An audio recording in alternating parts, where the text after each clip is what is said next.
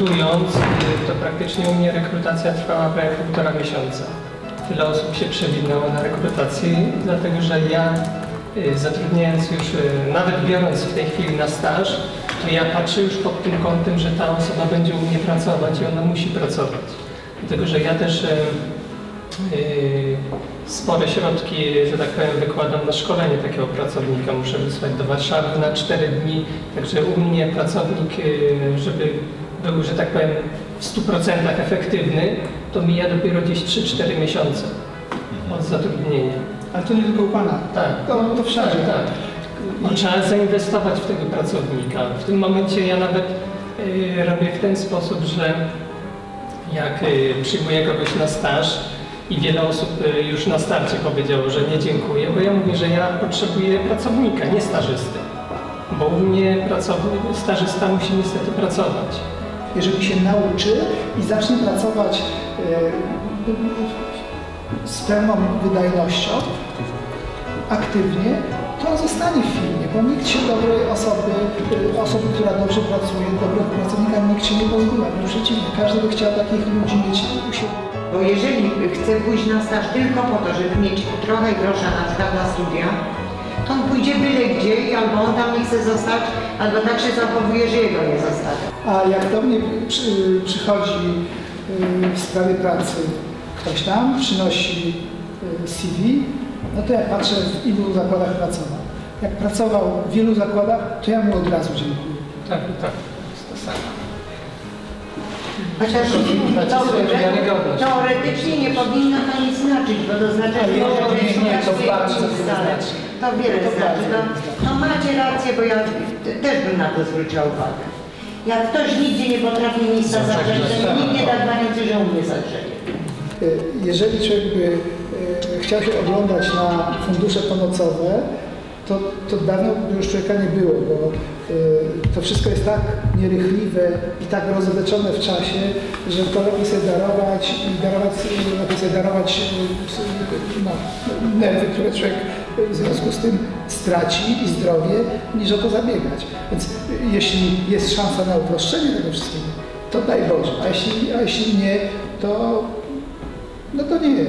A co ja zauważyłem, że fundusze na szkolenia są przejmowane przez firmy szkoleniowe. Przychodzi firma szkoleniowa i mówi, my cię za darmo wyszkolimy. A tylko wyszkolimy jakiś mak, owak. Ja tak nie chcę. Jak, ja, jak mam jakieś potrzeby szkoleniowe, e, chcę czegoś, e, kogoś, e, konkretne, czegoś konkretnego i konkretne osoby nauczyć i w jakichś konkretnych warunkach, no to ja chcę to właśnie tak zrealizować. I szybko, bo, bo no, tu się nie da czekać na szkolenie pół roku na przykład, czy, czy, czy ileś tam miesięcy. Niewykluczone, że to będzie możliwe. Młodzież jest absolutnie nieprzygotowana do realiów rynkowych, do tego, co ich spoty- spotyka na rynku pracy. Przychodzi młody chłopak po szkole i on chce od razu dostać 2000, pracować od 7 do, do, do 15, mieć dwie przerwy, najlepiej jak, jakieś tam e, ekstra warunki, a tak dobrze to chyba nawet w erze nie jest. Ci, którzy są mądrzy, nie chcą wszystkiego sami doświadczyć, to czerpią z doświadczenia innych, prawda? I są ilość tam etapów do przodu, a niektórzy muszą się sparzyć po prostu, żeby wiedzieć, że się sparzyli. Bo tak to, to jest realne życie, także my też tu jakoś ich nauczyć znowu nie możemy. No, no. Znaczy, no, 15-minutowe przerwy i w ogóle. To jest kodeks, to jest niby przepis, który obowiązuje, ale no, ale to są prawa kogoś. Tylko trzeba by wiedzieć, że z tymi prawami wiążą się obowiązki. I tak jak, jak mówi Pan Boło, no raz się pracuje 8 godzin, a raz trzeba pracować dużo więcej, a, a trzeci raz się pracuje 2 czy 3 godziny. To ciężko, bo się podleje, bo, bo musiał dostać godzinę czy, czy trzy godziny. Ale jak nie ma pracy, to on nie powie, że, że nie ma pracy, że Robimy chce zdjęcie. znaleźć, albo a jak nie, idę teraz, a może kiedyś będzie potrzeba to zrobić. To tego nie ma. Ale jest prawdą, że młodzi ludzie do urzędu przychodzą z rodzicami, do pracodawcy chcą iść z rodzicami, to my przestrzegamy. My to tolerujemy, że przychodzi pan czy pani z mamą czy z tatą, ale do pracodawcy proszę tak nie iść, bo to jest od razu przekreślenie z góry na dół.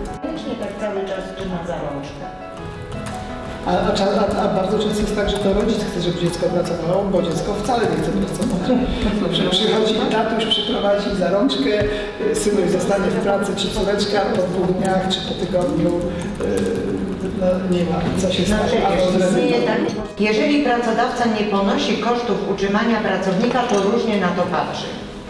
Bo czy ten pracownik robi, czy nie, i tak mu nie płacę, może być tak, może być inaczej. Nie jest to dobre. Myśmy mieli takie przypadki, że stażysta na stażu nie był ani jednego dnia. Lista była pięknie podpisana, kasę wziął. No to. Przepraszam, ja Pani przerwę. Ja na przykład nie pozwoliłbym sobie na... Pod warunkiem, żeby wszyscy wiedzieli, że pan ma stażystę. Jakby nie wiedzieli, no to... Wszystko wezmą.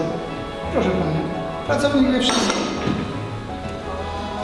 To wie pan to akurat, ale, ale, no takich firm, które działają kodeksowo i według zasad nie jest znowu tak dużo. Największe takie, mm, takie dziwne rzeczy najwięcej to się dzieje w takich malusieńkich firmach. Tam jeden, dwie osoby zatrudnione, no to te rzeczywiście tam się dzieją y, różne rzeczy, ale ja oczywiście generalizuję. Mnie się bardziej podobały te umowy, gdzie i, i, i ten młody człowiek miał pełen zakres obowiązków, ale i pracodawca wobec niego też.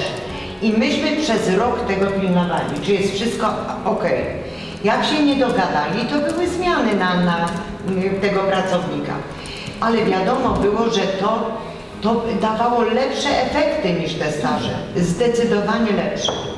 Jak dajemy y, stażystów na przykład na stanowisko sprzedawców, nie powinniśmy tego robić. Jeżeli pracodawca uważa, że sprzedawca odpowiada materialnie, to nie powinien brać stażysta, a myśmy nie powinni go dawać.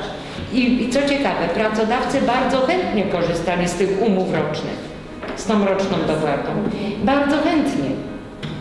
Po pierwsze, tak, pracow- to był pracownik, nie podobał mi się, coś przeskrobał, do widzenia, do widzenia.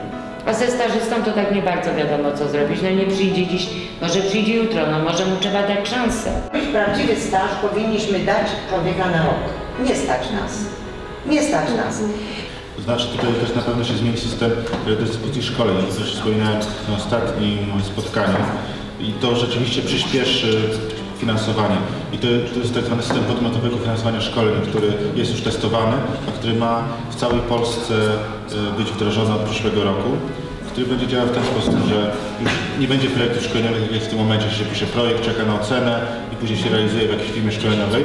W tym wypadku będzie to w ten sposób, że jednostka szkoleniowa ma uzyskać certyfikat jakości wydawany przez e, na przykład Urząd Marszałkowski Województwa Małopolskiego i ma być firmą e, z certyfikatem jakości szkoleń. E, Pracodawca może się ubiegać o uzyskanie bonów dydaktycznych dla swoich pracowników, które musi częściowo sfinansować. Na przykład dostaje bon o wartości 1000 zł, musi go płacić 250 zł i może wysłać pracownika na dowolne szkolenie w dowolnej firmie szkoleniowej, ale tylko tej posiadającej certyfikat jakości.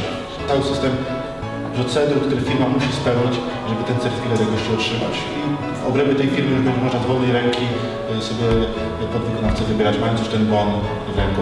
Z tym, że to też jest ważne, bony już nie będą finansować w 100%. Że zawsze osoba bezrobotna w mniejszym stopniu, osoba pracująca w większym będzie musiała współuczestniczyć w kosztach danego szkolenia. Natomiast też jest y, prikaz ministerialny, że to współ- współfinansowanie nie może przekroczyć 50% wartości szkolenia.